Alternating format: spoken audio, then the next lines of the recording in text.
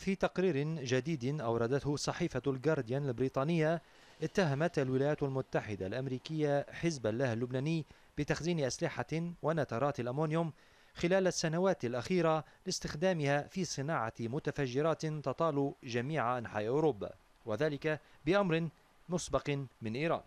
واعتمدت الصحيفة البريطانية في تقريرها على منسق مكافحة الإرهاب في وزارة الخارجية الأمريكية ناثان سيلز الذي دعا الدول الأوروبية إلى اتخاذ موقف أكثر صرامة تجاه حزب الله والميليشيات المدعومة من إيران.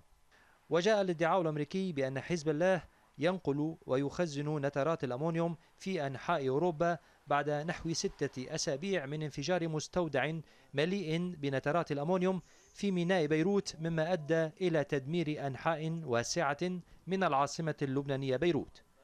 وما زال التحقيق في انفجار مرفأ بيروت وكيف أن المادة الكيماوية التي تستخدم كسماد ومتفجرات تركت في الميناء لمدة ست سنوات بعد مصادرتها. وبحسب الصحيفة البريطانية كان لحزب الله تأثير كبير في إدارة عمليات الميناء والتحكم بأنشطته.